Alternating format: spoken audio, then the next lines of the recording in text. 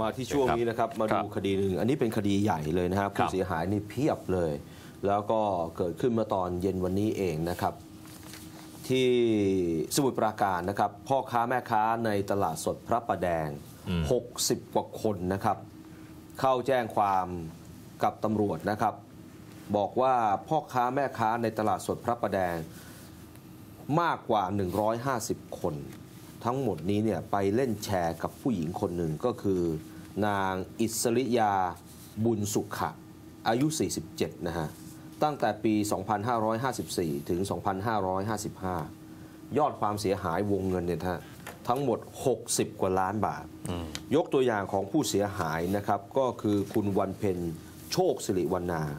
คนนี้เป็นหนึ่งในผู้เสียหายเขาเล่าให้ฟังว่า ก่อนหน้านี้เล่นแชร์กับคุณอิสริยาเนี่ยมาตั้งแต่ปี 48 ไม่มีปัญหาอะไรเลยครับนะฮะพอมาปี 54 ถึงปี 55 ก็ยังเล่นยังเล่นแชร์อีกนะฮะมีแบบรายเดือนก็มีรายวันก็มีนะฮะมือละหมื่นก็มีมือละ 5,000 ก็มีนะครับ แล้วก็ยังเล่นแบบรายวันมือละ 200 ก็มี รวมแล้วเนี่ยนะฮะเฉพาะคุณวันเพ็ญเนี่ย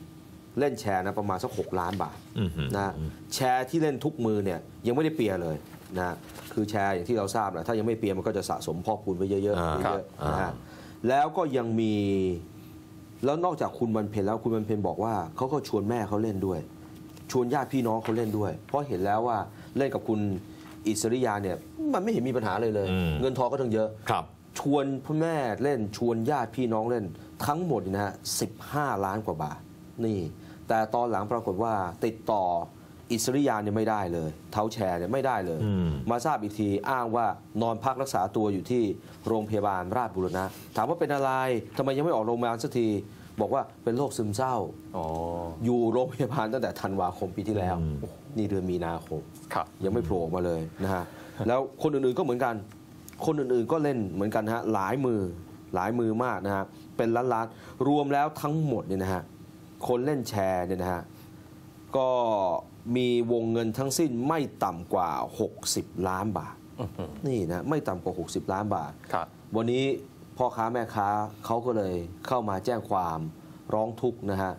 กับที่พระประแดงตำรวจที่นั่นนะครับ เพราะดูแล้วเนี่ยมันผิดสังเกตมากนะครับ ก็วันนี้เข้ามาแล้ว 40 กว่าคน แล้วก็จะเข้ามาทยอยแจ้งความอีกภายใน 2-3 วันนี้นะฮะอืมซึ่งดูแล้วมีผู้เสียหายนะฮะ